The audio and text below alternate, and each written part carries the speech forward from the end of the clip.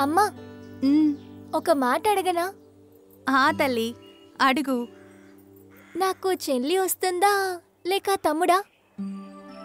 ఎందుకు తల్లి ఎందుకలా అడుగుతున్నావు? ఒకవేళ తమ్ముడు పుడితే ఈ బొమ్మ ఇస్తాను లేదా చెల్లెలు పుడితే ఈ బొమ్మ ఇస్తాను. నువ్వు ఉన్నావు చూడు. రజ్జో. ఏంటి నాన్న? మీ అమ్మ ఎలా ఉంది? అమ్మ బానే ఉంది. మరి మా అమ్మ ఎలా ఉంది? మీ అమ్మకేం తక్కువ బాగానే ఉంది. కానీ నాకు వీళ్ళమ్మ మీదే దిగులుగా ఉంది. సమయం దగ్గర పడుతున్న కొద్దీ నాకేం చేయాలో తెలియక ఊపిరాడడం లేదు. మా కాలంలో అయితే పిల్లల్ని కనడం చాలా కష్టమైన పని. ఆసుపత్రులు లేవు డాక్టర్లు లేరు మందులు కూడా లేవు. ఇంకా చెప్పాలంటే ఆసుపత్రికి వెళ్ళడానికి రోడ్లు సరిగా ఉండేవి కావు.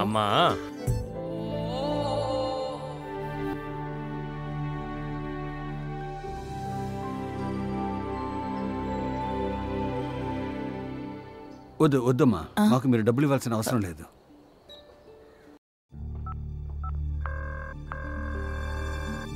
సార్ నమస్తే.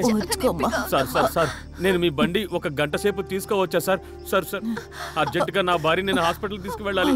హలో సార్ బండి బండి సార్ బండి నేను తీసుకెళ్ళొచ్చా సార్? హలో? ఏమైంది నాన్నా? అమ్మా అమ్మా నేను ఏదో ఒకటి చేస్తానమ్మా. నువ్వేం కంగారు పడకు. ఈ అంబులెన్స్ని ఎవరు పిలిపించారు? నేనే పిలిపించాను. బాబాయ్ వాళ్ళ ఇంట్లో నుంచి ఫోన్ చేసి. నువ్వే పిలిపించావా తల్లి? మంచి పని చేసావు. సమయానికి వచ్చింది.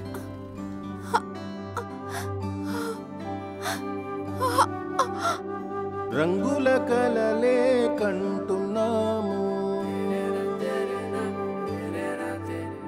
నిజము కావాలనుకుంటాము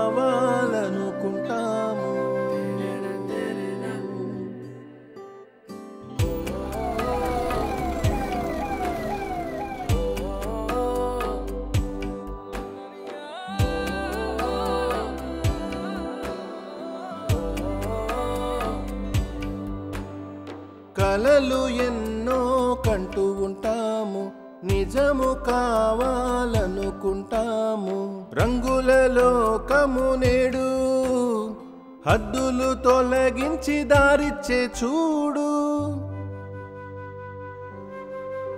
బాబు కోడల్ని ఆసుపత్రికైతే తీసుకొచ్చాం.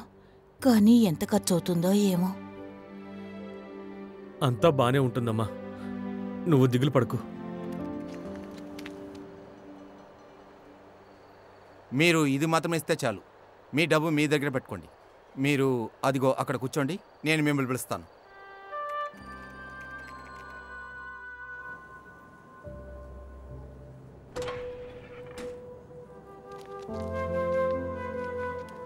డాక్టర్ గారు నా భార్యకి ఇప్పుడు ఎలా ఉంది?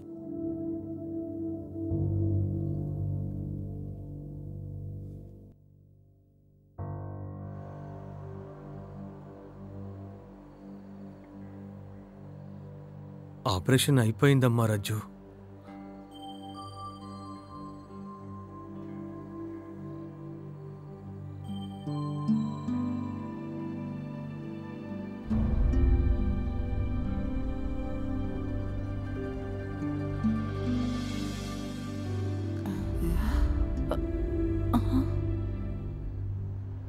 ఇప్పుడు ఇద్దరూ పుట్టారు తల్లి. నిజంగానా? ఒక బాబు పుట్టాడు ఇంకా పాప కూడా.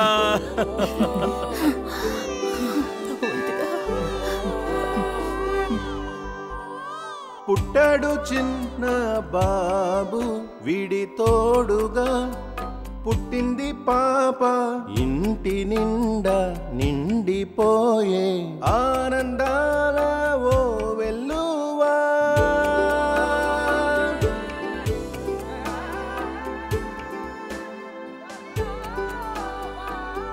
మిత్రులారా మన రజ్జు కథ ఇక్కడతో ముగిసిపోలేదు. ఎందుకంటే ఈ కథ నిజానికి ఒక పెద్ద కథలోని చిన్న భాగం మాత్రమే. న్యూక్లియర్ పవర్ కార్పొరేషన్ ద్వారా రాయబడిన ఈ కథలో ఆరోగ్యకరమైన భారతం కోసం ఇలాంటివి ఇంకా ఎన్నో కథలు రాయబడి ఉన్నవి చేసే కృషి సార్థకం కావాలని. అయితే రండి న్యూక్లియర్ పవర్ కార్పొరేషన్ చేస్తున్న మంచి పనిలో మీరు కూడా భాగం అవ్వచ్చు. కృతజ్ఞతలు.